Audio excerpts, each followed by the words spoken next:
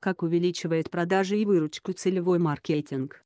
Для роста продаж и выручки ритейлеры все чаще используют целевой маркетинг специальные предложения и скидки, ориентированные на конкретного покупателя. Как показывают данные компаний и аналитиков рынка, целевой маркетинг способен увеличить товарооборот в разы. Даже если не собираешься ничего покупать, мимо Люси с призывным взглядом пройти невозможно. Фото – Сергей Михеев, РГ. Как отмечает директор по внешним связям Ассоциации компаний розничной торговли, Аккорд, Илья Власенко, целевой маркетинг пока новое направление. Большинство ритейлеров все еще делают ставку на промоакции. Они, с одной стороны, повышают лояльность покупателей, но с другой пагубно влияют и на ритейлера, и на поставщика, так как товар может продаваться по цене ниже себестоимости. Поэтому ряд крупных сетей сознательно замораживают долю продаваемых по промоакциям товаров на уровне 30-35% и стремятся стимулировать покупателя другими способами, отмечает Власенко. По его словам, целевой маркетинг более эффективный инструмент, хотя более сложный и затратный. Он требует от торговых сетей разработки и внедрения АИД, CRM, Customer Relationship Management, управления взаимоотношениями с клиентом, и маркетинговых систем, позволяющих работать с большими данными и гибко управлять торговыми предложениями с учетом предпочтений и потребительского спроса каждого конкретного покупателя, добавляет он. Минус. Зачем для стрит-ритейла нужны широкие улицы?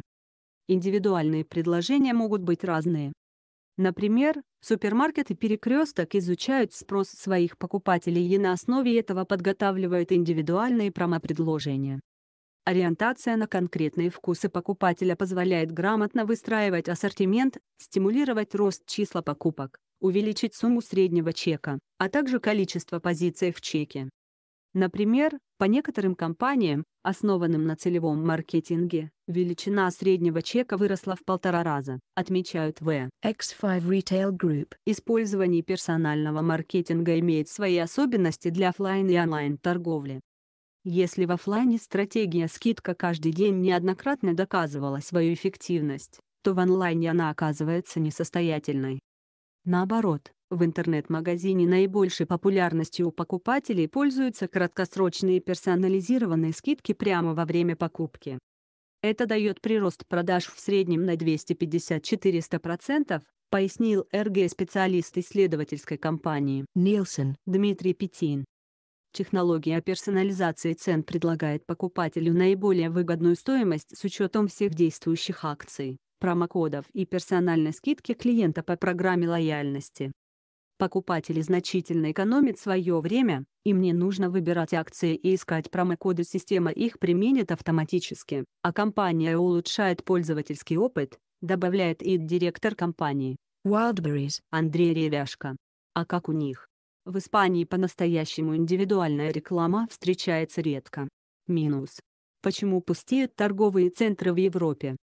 США один из центров мирового потребления, а потому здесь как нигде все заточено под покупателя, включая всевозможные персональные акции и скидки.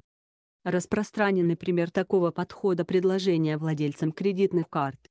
Банки на основе истории трат клиента регулярно подбрасывают ему через личный кабинет или почтовую рассылку информацию и индивидуальные предложения а именно по тем товарам и услугам, на которые он раскошеливается чаще всего.